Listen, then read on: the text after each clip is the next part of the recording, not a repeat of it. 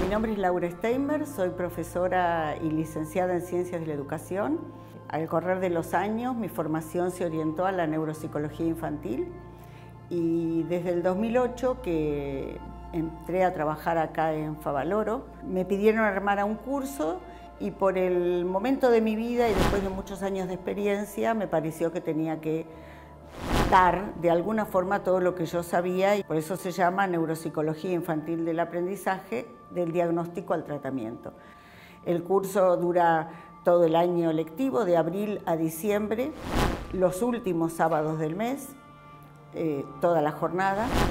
Y, y bueno, eh, se compone de clases teóricas. En todas las clases estamos presentes, tanto yo que soy la directora como la coordinadora, que es Yamila Sofita, eh, y además vienen docentes invitados. El objetivo fundamental es eh, que se aprenda a evaluar los trastornos del aprendizaje y otras dificultades del neurodesarrollo desde una mirada neuropsicológica.